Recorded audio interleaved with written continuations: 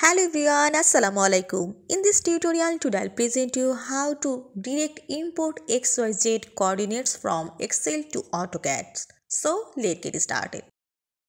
First I open Excel sheet and this sheet you have to see this is easting value, this is northing value and this is the elevation that means RL value and I want to import these coordinates Excel to AutoCAD. So how can you do this? Create a formula. So you have to call this equal sign and then you have to type concatenate. That means C-O-N-C-A-T-E-N-A-T-E concatenate. Then you have to go here in this easting value and you have to select the first easting value B2 and now you have to press keyboard comma sign. Then again you have to press keyboard inverted and again comma again inverted and again comma.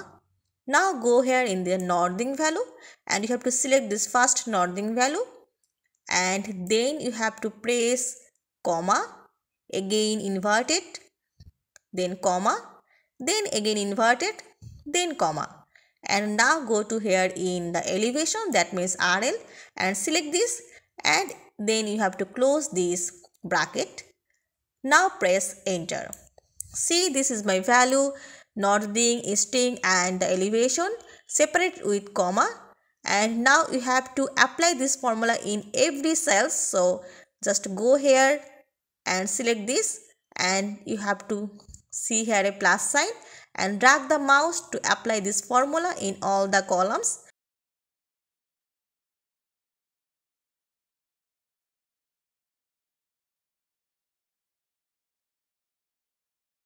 and now you have to go here in the mouse right button and click here in copy.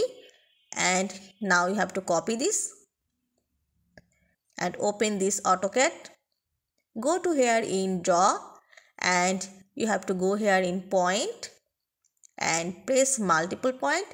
Now go here in this command bar and press mouse right button and paste this all the points are to be imported in this AutoCAD drawing file but you don't have to see don't worry just press it again you have to press A and now you have to see all the points are to visible so in this way you have to import any coordinates in Excel to AutoCAD directly I hope you enjoyed this video. Thanks for watching and don't forget to subscribe my channel. Thank you.